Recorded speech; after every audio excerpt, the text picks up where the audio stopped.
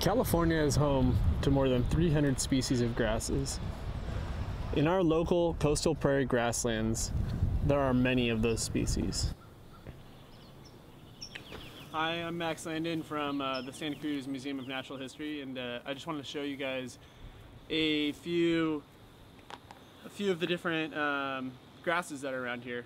Um, so I'll start off with the non-natives. Um, this one in my hand is called Italian Wild Rye. Um, it's totally non-native and it's kind of all around our garden.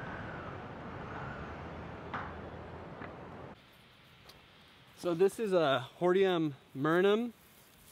It's a European annual grass. Um, probably have had these in your socks before, these little foxtaily things. They're pretty annoying. Um, so we can go ahead and pull all of these out of the prairie because there's a lot and they're going to come back. So that's a couple of our invasive or uh, non-natives. Um, I just wanted to show you a couple of our native grasses. So this is a native hordeum and uh, it's called Hordeum brachyantherum, meadow barley. Uh, this one's pretty dry, so the seeds have dropped quite a bit, but they often resemble feathers when they are when they're in full bloom. Uh, this is this is Elymus glaucus. Um, grows pretty tall. We have a bunch um, in our garden here. It's it's pretty much it's pretty identifiable because it grows straight up and then it has these seed stalks and nothing else really looks like it. Another one of our native grasses is this tufted hairgrass, uh, Deschampsia cespitosa.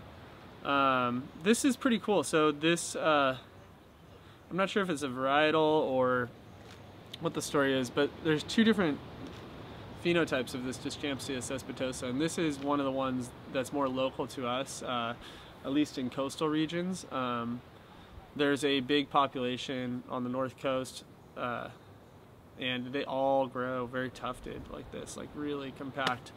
Uh, the other ones almost look nothing like this, but they're the exact same species. So that's really cool that, that these are thriving here as well.